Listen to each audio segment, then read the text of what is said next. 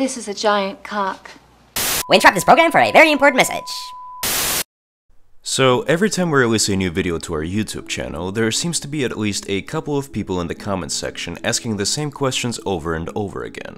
Questions regarding the current state of the CCS Video Podcast, the whereabouts of some of our past and present members, the requirements for joining the Cheshire Cat Studios group in general, and so on and so forth.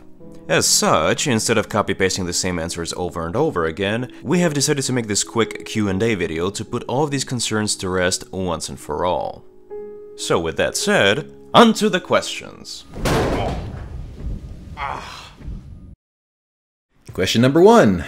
Hey, I like Subject X. Why aren't you guys talking about Subject X? Well, you know, that's uh that's called confirmation bias, and that's usually what happens when you simply want someone else to reinforce your existing subjective opinion and or validate a purchase. I mean, if you enjoy what we have to say about any given subject, you know, that's great. But uh, if we don't cover that topic that you're interested in, then you know what? The internet is vast and infinite, and there's other YouTubers out there likely discussing it as we speak.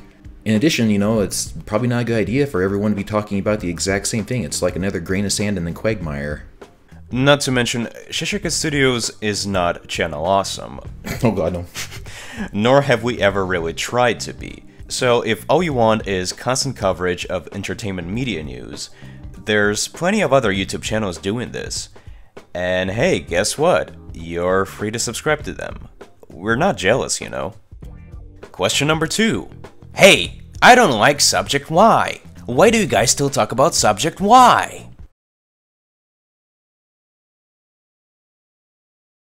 Question number three Is there going to be a new podcast? Well, you know, we did just release the one about True Detective. Then there was another one about the culture of victimhood before that, and. Um, not to interrupt, the Laughing Man, but I think they're asking about the next installment of the CCS video podcast. Oh. Yeah, because after all, it's pretty much public knowledge at this point that no one really gives a crap about after hours. you know, even if a typical after hours recording technically has twice the amount of content. Yeah, you see, it requires an attention span to sit through the after hours, so you know. Snap! Zing!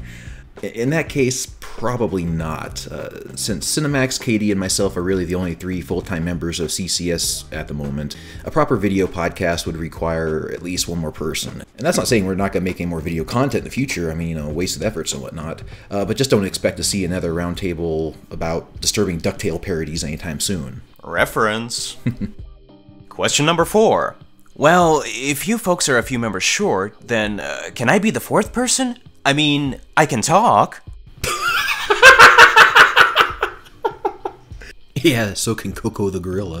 um, uh, the real question is, you know, what else can you bring to the table? I mean, um, are you a decent video editor? Are you an artist? Can you offer some type of uh, regular contribution besides just being another talking head? What Laughing Man is trying to say here is that the real problem with our content in the past was not a shortage of podcast hosts. Uh, believe me, we've had plenty of applicants dying to join the roundtable. But what we have been lacking all this time are actual team members.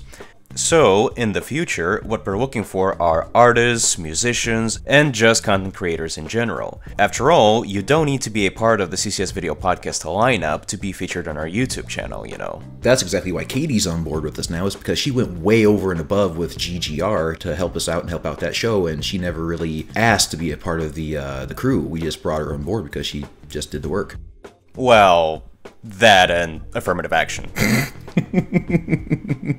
Can't look like total misogynist, right, Max? Question number five. Speaking of past members, where's BMask? In short, BMask has officially left CCS to peruse a legitimate career in animation. He does, however, have a separate YouTube channel, though, so uh, if you're interested in following him, here's a link. Question number six. Is there going to be a new Game Glitch Radio episode? Hmm, that's a good question, actually. Uh, we'd kind of like to know that ourselves, to be honest. But the fate of that show is entirely in the hands of Kenny and the Fuboo. So, if you folks want to see more installments of that series, make sure to let the two of them know by using the following links below. Question number seven. What about wasted effort? Where is it at? Well, in the three months since our last episode, we had recorded several discussions between myself and Laughing Man, But, truth be told, we felt like neither of them were really up to par. By the way though, if you're supporting us via Patreon, you should have access to a secret lost episode, quote unquote, of Wasted Effort. This one was a discussion that we were halfway through animating when we decided to move on and start from scratch. But we currently have an even more solid Wasted Effort episode in production, and all three of us are working diligently on it. So expect to see it up sometime within the next 36 months. I don't know. In case you're vaccinated, that's a joke. and finally, question number 8. Okay, well if you guys aren't doing as many videos these days, what are you doing with all your time? Well, I'm actually glad you asked. Currently, we're trying to keep our YouTube channel active with more frequent after hours recordings, wildcard compilations, and a monthly webcomic series available on our website. And of course, there's Wasted Effort currently in development. Uh, but remember when we said a while back in our Merlot Williams interview that we would like to try our hand at more creative projects? Well, actually, yeah, that's kind of what we're doing. Sadly, it's still way too early to unveil any specific details at the moment, but we might release a teaser of sorts sometime soon to give you folks an idea of what Cheshire Cat Studios has in store for you, the fans, in the future!